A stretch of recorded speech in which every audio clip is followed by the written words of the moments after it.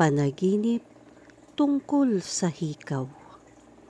Kakagising lang at hindi ko alam ano ang ibig sabihin ng panaginip tungkol sa hikaw, ginto, pilak o kahit perlas.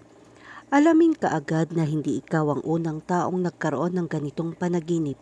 Ito ay tila kakaiba, ngunit ang katotohanan ay ito ay mas karaniwan kaysa sa napagtanto ng mga tao. Ang mga panaginip ay laging nagdadala sa atin ng mga mensahe mula sa ating subconscious. Kapag natutulog tayo, pinapayagan natin ang ating subconscious na magpadala ng mga mensahe sa atin sa pamamagitan ng panaginip. Karaniwan na sa paggising, malaki ang pag-uusisa tungkol sa posibleng kahulugan ng ating panaginip noong nakaraang gabi at ang unang salpok ay upang maghanap ng mga kahulugan para sa kanila.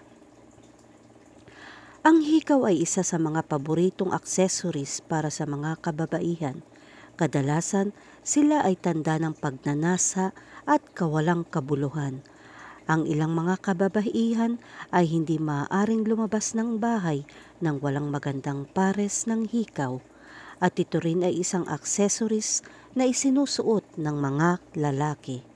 Pero ano kayang kahulugan ng hikaw pagdating sa ating panaginip? Ano ang ibig sabihin ng panaginip tungkol sa mga hikaw? Kung sa iyong paggising ay naaalala mo na ang pinakamahalagang elemento ng iyong panaginip ay isang hikaw at gusto mong maunawaan ang kahulugan nito, alamin na mayroong maraming interpretasyon. Ang mga hikaw na nakikita sa panaginip ay palaging nauugnay sa personalidad, ang paraan ng pagtingin sa buhay, kapwa, sa espiritual at material. Ang ibig sabihin ng ganitong panaginip, mga positibong bagay.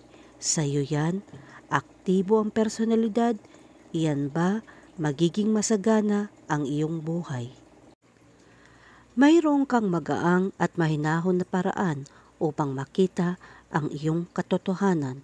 Kadalasan, ang ganitong uri ng panaginip ay nagdudulot ng pagtatasa sa sarili ng personalidad ng nananaginip. Ngunit maaari itong magkaroon ng mas maraming kahulugan. Ang lahat ay nakasalalay sa kung paano ang mga hikaw na pinag-uusapan.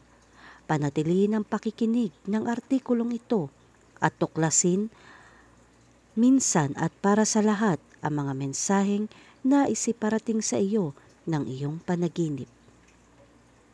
Panaginip ng gintong hikaw. Ang ginto ay isang elemento na palaging pinahahalagahan kapwa sa totoong buhay at sa panaginip. Kung sa iyong panaginip nakakita ka ng mga hikaw na gawa sa ginto, alamin na ito ay palaging isang magandang senyales maaari itong maging indikasyon na lahat ng gusto mo ay matutupad. Ang panaginip ng mga hikaw na gawa sa ginto ay maaari ding sumisimbolo na mayroong kang lakas upang malampasan ang anumang balakid kabilang ang paglutas ng mga problema na sa una ay tila napakahirap. Ang panaginip ng accessory na ito ay nagpapahiwatig din na may malaking pagkakataon na nakilala mo ang isang napaka-impluensyang tao na magiging dahilan ng kaligayahan at kagalakan. Ang taong ito ay maaaring maging kapwa kaibigan, kasintahan o maaaring maging asawa sa hinaharap. Ang panaginip na ito ay puno ng mga positibong interpretasyon, kaya magalak at tamasahin ang sandali na puno ng positibong enerhiya. Panaginip tungkol sa pilak na hikaw. Ang panaginip na isang pilak na hikaw ay nagdadala ng kahulugan na magkakaroon ka ng mahaba at masaganang buhay bilang karagdagan sa pagkamit ng lahat ng mga layunin na gusto mo. Ang pilak ay isang material na lumalaban kaya sinasagisag nito ang mahabang buhay at ang iyong panloob na lakas upang makuha ang gusto mo. Huwag palampasin ang mga pagkakataon na magpapakita ng kanilang mga sarili at makikita mo ang iyong paraan sa tagumpay. Gamitin ang lahat ng iyong katatagan at pagtsatsaga upang gumawa ng mga konkretong plano kung paano matupad ang iyong mga pangarap. Ikaw ay isang malakas na tao at ikaw ay magiging napaka-bless sa iyong buhay. Panaginip ng mga hikaw na perlas.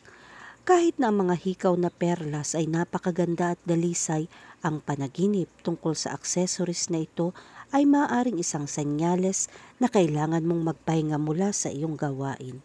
Ito ay isang napakahalagang sandali ng pagmumuni-muni sa iyong pang-araw-araw na buhay – Suriin ang iyong mga saloobin sa iyong sarili at sa iba at pag-isipan muli kung nakukuha mo ang mga resultang gusto mo sa iyong buhay.